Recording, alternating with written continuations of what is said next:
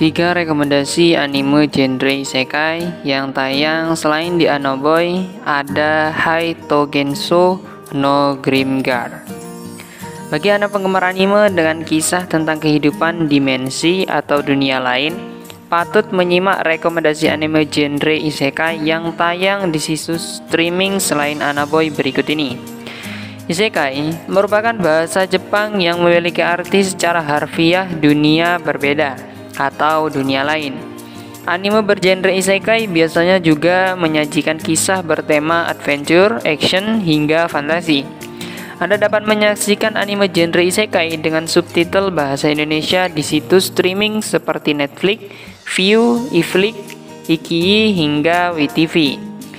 Serial anime genre isekai dalam rekomendasi berikut ini bisa Anda saksikan untuk mengisi waktu saat luang di akhir pekan ini.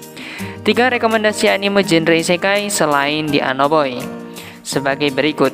Sebelum lanjut ke videonya, dukung terus channel kami agar channel kami lebih banyak lagi dikenal orang dan dapat menghibur kalian semua dengan cara like, komen, dan subscribe dan aktifkan lonceng notifikasinya.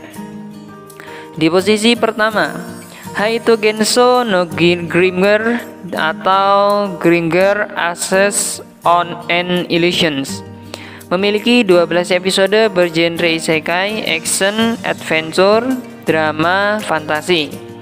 Dilempar ke negeri asing dengan kenangan kabur, mereka hanya bisa merasakan tiga emosi yang beron, beresonasi jauh di dalam jiwa mereka. Sekelompok orang asing tidak diberi pilihan lain selain menerima satu-satunya pekerjaan berbayar di Grimgar dari uh, dunia yang seperti permainan ini yakni dengan peran sebagai prajurit di tentara cadangan dan melenyapkan apa pun yang mengancam kediaman di Grimger, dan dunia baru mereka.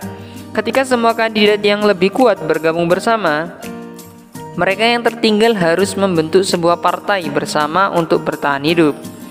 Manato sang pemimpin, Haruhiro si pencuri, Yume sang pemburu, Shihuro si penyihir, Mokzo sang pejuang dan seorang Knight bernama Ranta pun bersatu. Sekarang tergantung pada kelompok pejuang yang tidak terduga ini untuk bertahan hidup bersama di dunia yang mana hidup dan mati hanya dipisahkan oleh garis tipis. Kedua, Mosuko Tensei Isekai Itahoki Desu atau Mosoku Tensei Jobless Reincarnation Part 2 Memiliki 12 episode bergenre isekai, drama, fantasi, ecchi, dan reincarnation. Setelah bencana misterius, Redis Great dan muridnya yang ganas Eris Bores Great diteleportasi ke benua iblis. Di sana, mereka bekerja sama dengan rekan baru mereka, Roger Supardia, mantan pemimpin kelompok support warrior, untuk membentuk Buntu. Sebuah pesta petualangan yang sukses membuat nama untuk diri mereka sendiri ketiganya melakukan perjalanan melintasi benua untuk peluang ke Vitoa. Mengikuti nasihat yang dia terima dari dewa tak berwajah Hitogami, Redus menyelamatkan Kisika, Kisiru, Kaisar Agung Dunia Iblis dan menghadiahkannya kekuatan aneh. Sekarang karena Redus menguasai kemampuan kuat, itu mungkin terbukti lebih dari apa yang dia harapkan ketika bahaya tak terduga mengancam untuk menghalangi perjalanan mereka.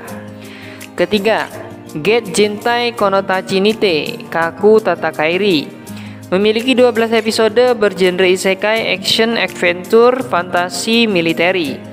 Perwira pasukan bela diri Jepang GCDV yang sedang tidak bertugas dengan Yonji Itami sedang dalam perjalanan untuk menghadiri konversi Doujin di Ginza.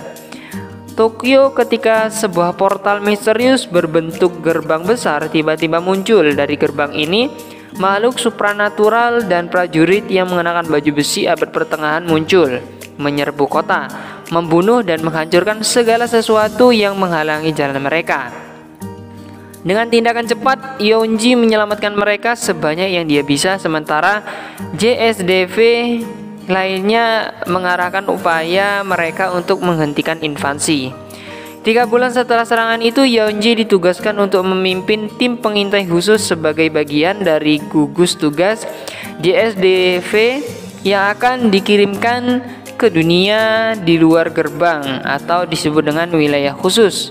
Mereka harus melawan perjalanan ke dunia yang tidak dikenal itu untuk mempelajari lebih lanjut tentang apa yang mereka hadapi. Itulah beberapa ulasan yang bisa menjadi list tontonan kalian di kala senggang. Dan mungkin cukup sekian video dari kami dan jangan lupa dukung terus channel kami agar channel kami lebih banyak lagi dikenal orang. Dan jangan sampai ketinggalan dengan video-video terbaru kami selanjutnya. See you!